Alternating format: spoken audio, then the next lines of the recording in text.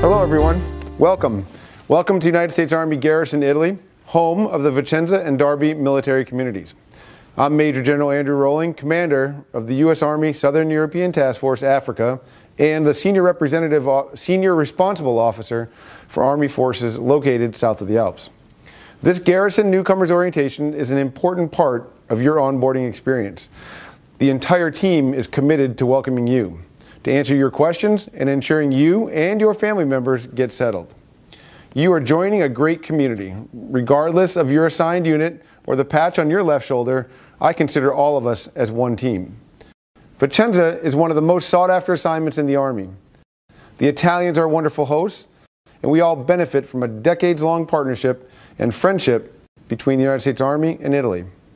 I might be a bit biased, having the good fortune of being assigned to Italy now three times, but I believe Vicenza is the best duty station in the United States Army. My family and I love it here, and I hope you will too. As you get in processed, you'll be navigating the cultural and language differences inherent in a foreign country. Please remain patient during this process. It will take time, but the our team is here to help. I know PCS moves are always stressful, not to mention moving overseas. Toss in COVID 19, and I know this has probably been a challenging time for you and your family. We're glad you made it.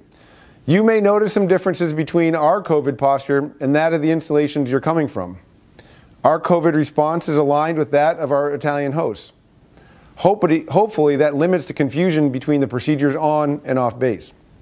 We've had a very successful pandemic response that has been widely recognized by the Department of Defense and the Department of the Army. Our success is thanks to the entire community, which now includes you, remaining vigilant and adhering to mitigation measurement. I meet regularly with the leadership teams from across the garrison, and we make adjustments to our mitigation efforts as necessary. So, in addition to supporting our COVID 19 response, I'm going to ask you to do three more things. First, we all have responsibility to maintain our own personal readiness. You, we've seen COVID 19 degrade our operating environments, and it has also degraded the physical fitness level of some of our soldiers. I ask that everyone, soldiers and civilians, to have a fitness plan to maintain your health, your resilience, and your ability to do your job. Secondly, stay informed. We share updates via the chain of command and official information sources such as the United States Army Garrison Italy website and Facebook pages. Please ask questions if there is something you do not understand. It is imperative that we all stay informed.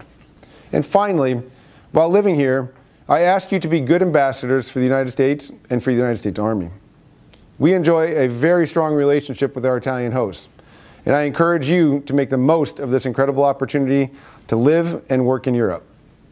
Please be respectful of our Italian hosts and ensure your actions strengthen our long-standing partnership.